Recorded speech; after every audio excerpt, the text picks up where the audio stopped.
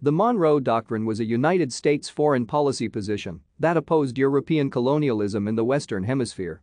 It held that any intervention in the political affairs of the Americas by foreign powers was a potentially hostile act against the U.S.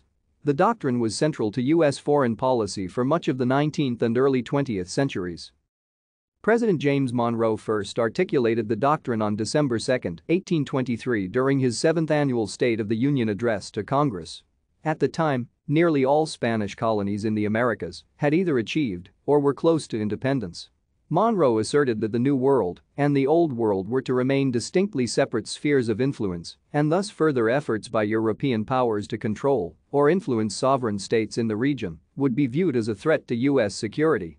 In turn, the US would recognize and not interfere with existing European colonies nor meddle in the internal affairs of European countries. Thank you for watching. Like and subscribe if you would like to view more of our videos. Have a nice day.